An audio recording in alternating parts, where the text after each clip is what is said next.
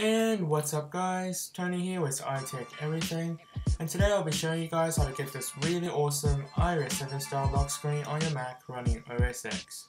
This lock screen takes up the form of a screensaver and although this video was recorded on Mavericks, it should work on any version of OS X that supports screensavers. The process is really simple so let's get right to it. The first thing you want to do is head over to the link I have in the description and go ahead and download the screensaver file. Once you have the file downloaded, you simply want to unzip it, go ahead and open the DMG file. Inside the DMG file, you should see the screensaver file and a shortcut to the folder to copy it to. All you need to do is drag it in, go ahead and authenticate, type in your password and press OK. And that's it, that's the installation process done. To enable the lock screen, go to System Preferences, Desktop and Screensaver, scroll down and you should see the iOS 7 lock screen.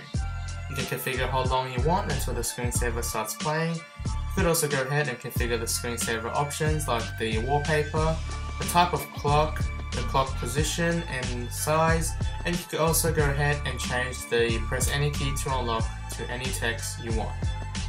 After you're happy with your lock screen, simply click preview to get a feel of what your lock screen will actually look like once it starts running.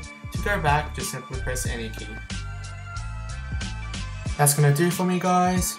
This has just been a really quick video showing you guys how to get this awesome iOS 7 style lock screen on your Mac. If you guys have any questions, please leave them in the comments area. And if you like this video, please give it a thumbs up. Thanks for watching and I'll catch you guys in the next one.